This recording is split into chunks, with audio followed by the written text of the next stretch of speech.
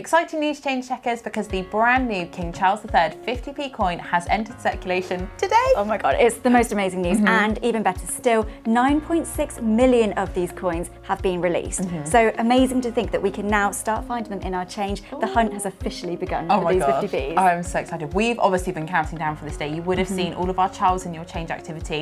If you've watched our video already, you will know exactly what we're doing.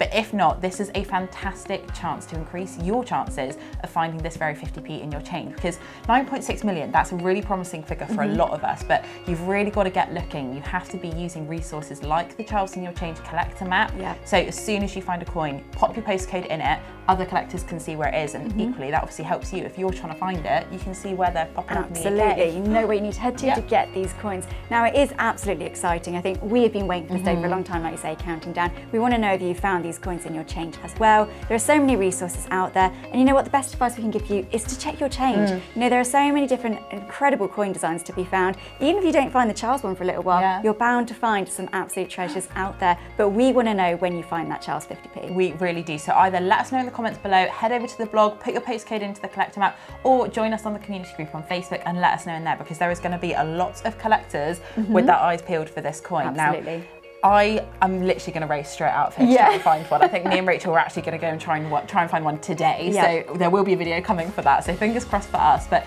like Rachel said, please, please do let us know when you find this coin because it's so exciting. It's the start of hopefully a whole new era of change Absolutely. Collecting. Yeah, cannot wait.